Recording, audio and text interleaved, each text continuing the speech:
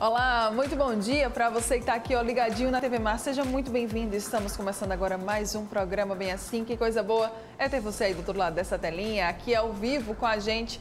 Muito obrigada mesmo, tá, pela sua companhia. E olha só, hoje aqui no programa nós vamos falar sobre câncer de colo retal. A gente está vivendo também a campanha Setembro Verde e é muito importante que a gente fale sobre esse assunto, tá? Também ainda vamos falar sobre gravidez psicológica nos animais e também sobre o mercado de luxo. Será que a pandemia vai alterar esse consumo nesse, nesse nicho aí da moda? Já já nós vamos saber sobre isso. Muita coisa boa, como sempre, eu conto com você. Não sai daí porque o Bem Assim está começando agora.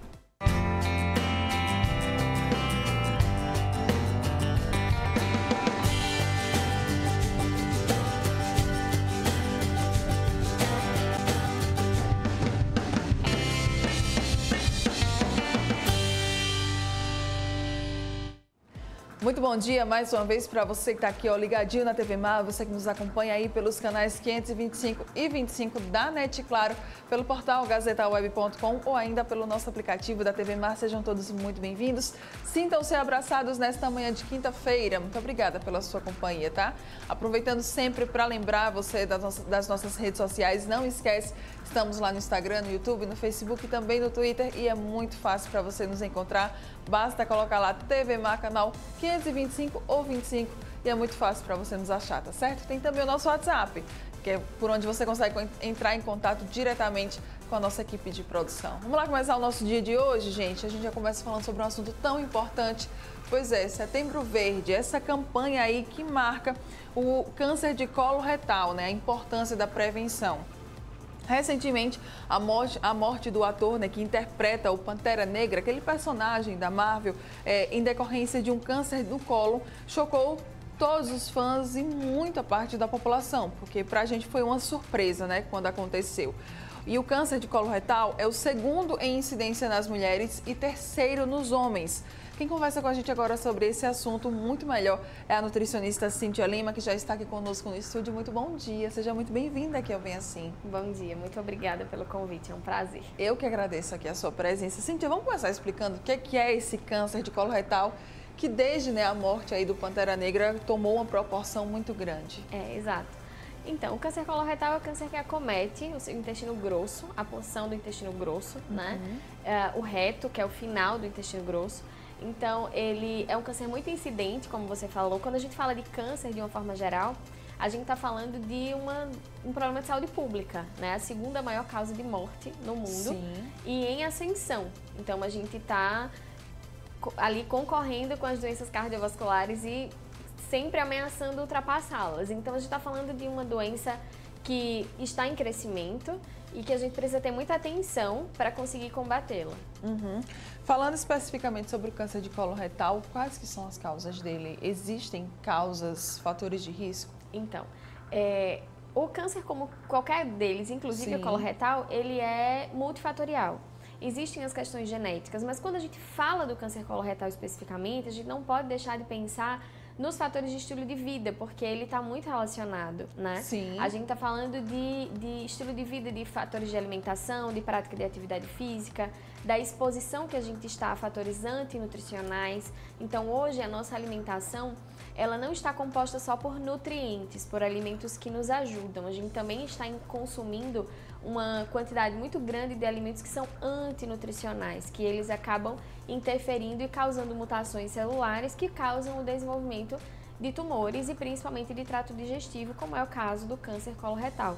Então, 35% dos fatores externos, dos fatores Sim. de estilo de vida, estão relacionados à alimentação no desenvolvimento do câncer. Então, a gente não pode negar que principalmente para o câncer coloretal, o estilo de vida está diretamente relacionado à incidência ou à prevenção também. Uhum. É interessante você fale isso, né? Assim que a gente está aqui hoje especificamente falando sobre o câncer de coloretal, mas para qualquer tipo de câncer, né? Como você bem falou. Infelizmente é uma doença que tem uma incidência muito forte, né? Nas mulheres e nos homens. Eu até falei agora no, no começo, seu microfone, cuidado. É, eu até falei agora, né? no, no começo da da entrevista que esse caso do câncer de colo retal é o segundo com maior incidência nas mulheres e o terceiro com maior incidência nos homens. São dados até alarmantes, né, Cíntia? Exato. A gente tá. E, e quando a gente fala de alimentação, a gente tem que pensar que o tumor ele, ele recebe o alimento, uhum. né? Eu sempre falo que além da questão sistêmica, então do prejuízo que a alimentação causa a nível de metabolismo, de organismo, Sim. o alimento ele passa no processo, passa no, no, no local. Eu geralmente até comparo os meus pacientes, eu digo, é como se fosse uma pomada o seu alimento ou ele passa tratando ou ele Sim. passa incentivando e estimulando essas células. Então, o, os pacientes que têm tumores digestivos, como é o coloretal, eles precisam ter um, um cuidado redobrado com a alimentação, porque a alimentação ela passa no processo tumoral, ele passa no, na doença. Então, a gente precisa, a gente não pode juntar pólvora e fogo, né? Se a gente sabe que tem uma doença ali de base, de base inflamatória, a gente precisa evitar alimentos que estimulem esse processo inflamatório. E na prevenção a mesma coisa. Existem fatores de risco, por exemplo, doenças ah, inflamatórias intestinais. Então, colite, Crohn, são pacientes que já têm uma predisposição maior. Então, assim, ele já tem 30% maior chance de desenvolver Sim. um câncer coloretal. Então, são pacientes que também precisam estar sempre muito antenados ao estilo de vida, à alimentação, à prática da atividade física, para conseguir prevenir esse desenvolvimento da doença. Você falando aí sobre alimentação me lembrou aquele, muito aquele ditado, né? A gente é o que a gente come. Exato. E é bem isso, né? É, parece clichê, mas não é, Exato. é, né? Eu, eu gosto sempre de dizer, não é papo de nutricionista, acredita no que a gente está falando, porque assim, o nosso corpo, ele, ele dá respostas imediatas, uhum. né? Então, assim, quem nunca passou por um processo de tirar algum alimento que não é positivo e sentir uma melhora, Sim. né? Você sente uma melhora na respiração, quando a gente está com sobrepeso, perde um pouquinho, já anda melhor. Então, assim, a, a, as consequências positivas de mudança de hábitos alimentares, elas são percebidas, né? Elas são notadas no nosso dia a dia, uma melhora do funcionamento intestinal. Isso é uma coisa importante também de se falar, porque é um tabu quando a gente fala em evacuação, em consistência de fezes, Sim. em frequência, parece que a gente está falando, as pessoas têm medo de falar nisso e não tem, tem que ter. Tem vergonha, né? Exato, não tem que ter porque é, é, faz parte da nossa vida, né? Então, avaliar a consistência das fezes, avaliar a frequência, não é normal. Tem gente que às vezes eu atendo o paciente e fala assim, como é a sua frequência intestinal? Ah, eu só faço duas vezes na semana, mas isso é normal. Não, não isso é. Não, é, isso não, pode isso ser comum é normal, na sua né? vida, mas normal não é né? Então, assim, a gente precisa ter uma... A, a, o ato de evacuar é, é, a eliminação daquilo que não é positivo para o nosso corpo. Uhum. A gente está uhum. guardando toxina, a gente está guardando substâncias que não devem ser armazenadas. Então, constipação não é só não fazer, é você fazer com muito esforço, é você fazer com, com dor. Com... Então, assim, a gente precisa estar tá muito é, observando esses hábitos, Sim. sem nenhum tipo de vergonha, sem nenhum tipo de tabu, porque isso nos ajuda a detectar doenças, não só o câncer coloretal, mas às vezes uma doença inflamatória intestinal que, se não tratada, pode desenvolver um câncer coloretal. Olha só, tá vendo, gente, como é importante? É uma doençazinha que também pode acabar desenvolvendo esse tipo de câncer. Tem alimentos que, que podem ajudar ainda mais a essas doenças, assim, a desenvolver essas doenças, a desenvolver esse tipo de câncer, sim? Tem. É, no topo da lista estão as carnes embutidas. Sim. Né? Então, presunto, salame, salsicha, mortadela. Salaminho. Peito de peru, que as pessoas associam a uma alimentação saudável. Não Tô é. chocada. Não é saudável, tá? As pessoas acham que porque ele é branquinho, eu sempre Isso. brinco que peito de peru é o peito de peru do Natal, tá? Peito de peru é aquele que a gente assa, tira o peru e corta o peito. Pronto. Pronto. Aquele é saudável, mas o, o, o blanquê de peru, todas esses, essas carnes embutidas, elas não são recomendadas porque elas são cheias de substâncias químicas, de nitritos, de nitratos, de muitas substâncias antinutricionais que acabam causando mutação celular. Sim. A gente está num avanço da nutrição que a gente hoje estuda a nutrigenética, a nutrigenômica, que nada mais é do que a relação entre o que a gente come e a expressão do nosso DNA. Sim. Tá? O câncer ele é uma mutação do DNA. Então, o alimento ele pode causar essa mutação. Então, as carnes embutidas, os ultraprocessados, o que são os ultraprocessados, tá? Aqueles queijinhos que vêm em pacotinhos embaladinhos que a Sim. gente sabe que a gente abre, tá pronto, delicioso. Eu sempre gosto de falar para o meu paciente o seguinte, ó, você olhou para o alimento, você consegue fazer ele em casa? Ou então, tem pessoas que fazem artesanalmente? Deixa eu fazer um comparativo. a gente consegue fazer queijo artesanal. Sim, consegue até mesmo também tem né? acesso, né? Quem, quem não tem o talento de fazer pode comprar. Isso, mas dá para fazer. Você sabe que tem Sim. pessoas que conseguem desenvolver queijos artesanais. Mas esse queijo ultraprocessado ninguém faz. Você não, não existe aquilo artesanal, aquilo é produto da indústria, né? Então, a gente consegue fazer uma salsicha artesanal? Não. não. A gente faz linguiça. E linguiça artesanal pode, porque ela é bem menos industrializada. Então, eu sempre acho que a pergunta é: você consegue desenvolver isso na sua casa? Lê a lista de ingredientes, gente. A gente precisa ter o hábito de ver o que, é que a gente está comendo. A gente olha preço e marca, mas a gente Só não olha a composição. E, né? e, ainda que aqueles dizeres lá bastante atrativos, né? Por exemplo, nesse dos queijos, ah, pronto para o seu lanche. Isso. Então, assim, são coisas muito atrativas, Exatamente. né? Para o nosso olhar. A gente precisa ter uma atenção no mercado, na, na na indústria alimentícia porque ela é muito marqueteira, tá? Ela tá ali para lhe fazer convencer de que você vai comer algo que é positivo e nem sempre é. Uhum. Então, assim, colocar uma embalagem verdinha com umas folhas não é suficiente para garantir que é saudável, né? Você pode ver que tudo que é saudável é verdinho, tem umas plantinhas, mas isso não quer dizer. Então, a gente precisa começar a ler os ingredientes. Então, você conhece aqueles ingredientes? Eu dou sempre o exemplo do molho de tomate. A gente Sim. tem uma, uma variedade, variedade, no mercado. Existem aqueles que até dá para a gente comprar, ele é industrializado, ele tem os seus conservantes, mas quando você lê, você consegue identificar os ingredientes. Ah, é molho de tomate, é sal, é óleo, é manjericão.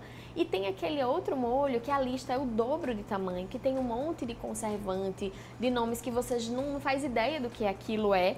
Então, você já tem que suspeitar. Isso serve para todos os alimentos industrializados, para o iogurte, a gente tem iogurte recomendado, iogurte não recomendado.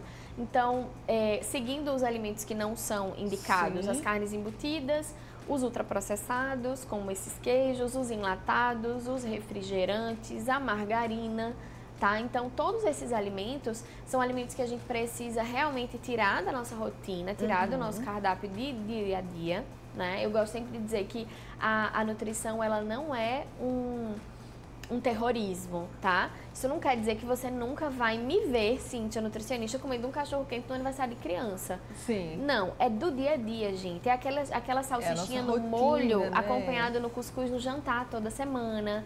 É aquele, aquela linguiça no, no feijão todos os dias, é o presunto do misto de manhã. Então, é, as pesquisas mostram que 400 gramas por semana de carnes embutidas aumenta consideravelmente o risco de desenvolvimento de câncer coloretal. Olha só. Então, é, é a frequência. Aí você falar 400 gramas é muita coisa, não é? Não é. Se a gente pensar em todas essas possibilidades de inserir esses Sim. alimentos na nossa rotina, às vezes a gente come que nem percebe né? Então, a gente tem que ter atenção e naturalizar a nossa alimentação. Rapidinho a gente alcança essa meta, viu? Mas, mas não tenha dúvida, até porque é tudo muito saboroso. Sim. A gente não pode questionar que a palatabilidade é muito boa, é muito atrativa. É o tipo de alimento que você começa a comer e você tem dificuldade de parar. Né? Porque ele é proporcionado. A indústria faz isso propositalmente. Então, uhum. Então, assim, ela coloca substâncias que estimulam o paladar, que fazem com que você fique comendo. Então, quem consegue comer uma batatinha frita daquelas de pacotinho, uma só? Quem consegue comer um biscoito recheado um só? Você tem um estímulo imediato pra de continuar, continuar, né? Ele estimula uh, o desenvolvimento, a liberação de hormônios do apetite, né? Então faz com que você fique ali, Sim. naquela rotina. E Cintia, outra dúvida, existe alguma faixa etária específica para o câncer do colo retal que ele costuma aparecer mais? Então, a partir dos 40 anos já é um, uma fase de, de maior controle, uhum. né? A gente, a gente tem como rotina fazer a colonoscopia a partir dos 50, tá? Então, é, é, padrão de, de, de, de investigação. A partir dos 50 anos começa a fazer colonoscopia anual. Mas a gente percebe que a incidência a partir dos 40 ela já começou a, a aumentar, tá? Infelizmente, a gente tem muitos jovens hoje, né? Eu acho que falar de faixa etária às vezes é iludir um pouco os jovens de que, ah, então eu tenho tempo. Sim. Né? É, é, Posso é, comer aqui tudo que isso, eu quiser. dá né? tempo de mim, não. A gente tem visto muitos jovens desenvolvendo câncer coloretal. Então, cada dia que passa, as pessoas chegam mais jovens no, no consultório.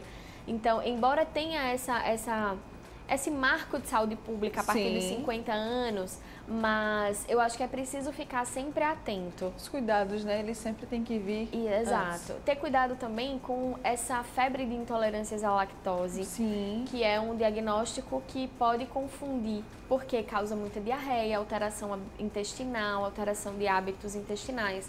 Então, tem que ter um, um, diagnóstico muito bem feito de intolerância à lactose, porque existem muitas pessoas subdiagnosticadas uhum. com problemas ou inflamatórios ou doenças como é o câncer coloretal, achando que estão só com intolerância. Então, tem que tirar o tabu da colonoscopia, é um exame super simples, ele é indolor, é feito sob anestesia. Então, assim, se o médico solicitou ou se você está percebendo uma dificuldade de controle de sintomas intestinais, eu acho que uma colonoscopia ela é muito bem-vinda, porque é órgão oco, tá, gente? A gente não avalia órgão oco de fora, fazendo só Sim, uma ultrassom. Tem que é ser. como endoscopia, a gente tem que ir lá no foco, observar como é que está a, a, saúde daquele órgão. Então, uhum. a, a prática da colonoscopia em casos necessários, a gente não vai sair fazendo colonoscopia a livre demanda, ah, tô com diarreia, vou fazer uma colono, não é isso. Mas pessoas que têm sintomas persistentes precisam, precisam aderir a esse exame para que a gente consiga ter uma segurança maior de diagnóstico. Uhum. Para a gente fechar aqui o nosso bate-papo, que está interessantíssimo, poderíamos continuar sim, mas infelizmente eu tenho tempo. Quais são então aí os três hábitos alimentares essenciais quando a gente fala de prevenção? Vamos, vamos focar no, no câncer uhum. em geral, né? E especificamente nesse do colo retal. Então, parece conversa de nutricionista, né? Mas são as frutas e as verduras. Então, a gente precisa ter hábito, comer pelo menos três porções de frutas no dia, ter o hábito de comer os vegetais. Eu sempre gosto de lembrar que vegetal não é necessariamente um prato de alface. Sim. Então, assim, existe uma variedade, gente. Não é possível que a pessoa não consiga fazer uma listinha mínima de alguns vegetais, legumes e hortaliças que você consiga comer. Né? Se, ah, eu não gosto de nenhum. Então, vai naquele que você fala assim, isso não tem gosto de nada. Então, se não tem gosto de nada, dá pra comer, né? Então, assim, vai... Vai nesse, É, Foca não vai nesse. naquele que amarga, vai naquele que não tem gosto de nada, né?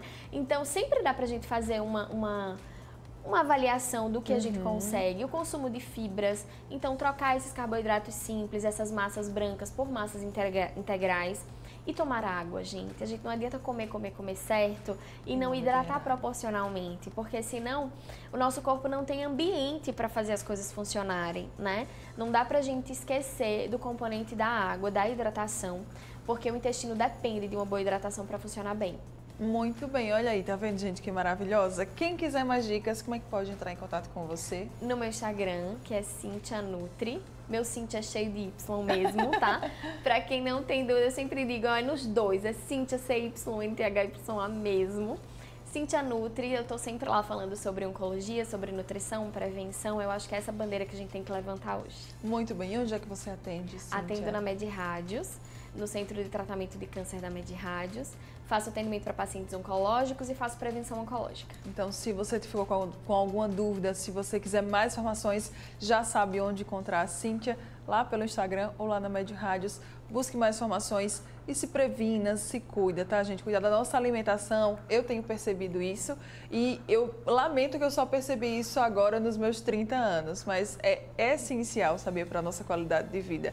Eu espero muito que você também tenha percebido isso já há um tempo ou se não, que você comece a perceber e comece a mudar os seus hábitos. Muito obrigada mais Eu uma vez. Está maravilhosa. Obrigada, obrigada mesmo. Bom dia. Você que está aqui ó, ligadinho com a gente, ah, vamos para um rápido intervalo comercial, mas antes eu queria até aproveitar para compartilhar uma dica com você. A gente estava aqui falando né, sobre vida saudável, mudança de hábitos alimentares. Você já conhece a Emagrecentro? É uma empresa pioneira no mercado brasileiro, gente, que investe em pesquisa, inovação e tecnologia para oferecer excelência em seus serviços, produtos e tratamentos de estética, saúde e bem-estar. A clínica ela é especializada em emagrecimento e estética e já atua há 34 anos. Tem como objetivo aí oferecer tratamentos de emagrecimento e estética com preços acessíveis para a maioria da população brasileira. A obesidade e seus malefícios são considerados uma epidemia mundial, tá? Que já atinge mais de 50% da população. Mais de 2 milhões de clientes já foram atendidos em mais de 170 unidades de 21 estados brasileiros da Emagrecentro. Conheça a maior rede de clínicas de emagrecimento estética do Brasil. Aqui em Maceió, a Emagrecentro está localizada tanto na Ponta Verde como lá no bairro da Serraria. Para mais informações, confere lá no Instagram Emagrecendo Maceió. Agora sim, a gente vai para um rápido intervalo comercial, voltamos já já.